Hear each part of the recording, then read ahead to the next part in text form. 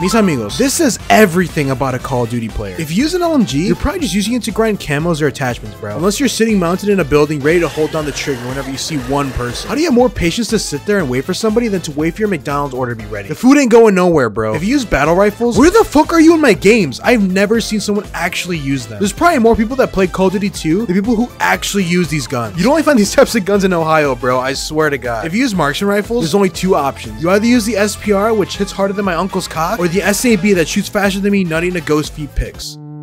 I'm just trying to compare it to something I know well.